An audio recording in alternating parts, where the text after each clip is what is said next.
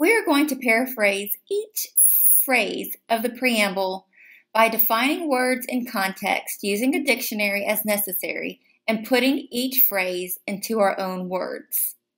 This will help us think about the purpose of each phrase within the preamble.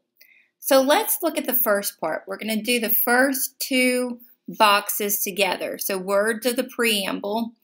But let's think about the preamble in context of today, of all the people in the United States, all the people here living in the present. So we, the people of the United States, that's all of us, okay? So the paraphrase meaning of we, the people of the United States would be everyone, all citizens of the United States. So why do you think it's important that it's we, the people of the United States, instead of some of us of the United States or a few privileged people of the United States? Because it's everyone in the United States. It's all citizens. So the purpose is it names who is represented in the document. Everyone. All of us. We the people. Let's look at the next line or the next part. In order to form a more perfect union. Well, I know right here the word union is confusing to me. I'm not quite sure of the definition of union. So I'm going to look it up in a dictionary. Union. Union is a noun. The definition is the action or fact of joining or being joined, especially in a political context.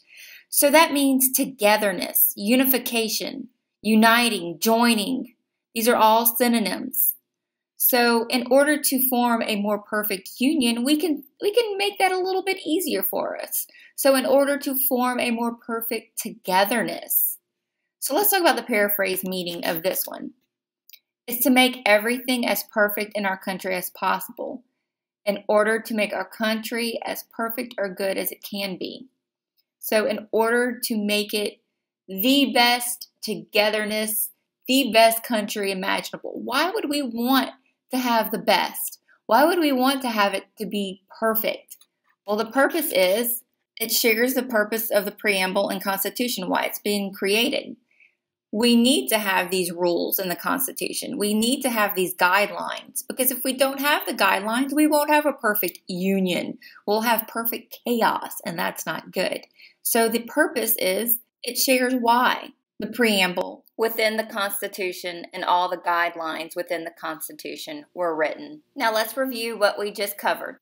This first part acknowledges all of us as citizens of the United States in order to have a perfect country, or as perfect as close to perfect as we can, this is why we have the Constitution. So that's what you're going to do uh, when you're reading the preamble. You're going to break it down and look at each word. And if you don't understand the definitions of words, look them up in the dictionary. Just like justice or tranquility,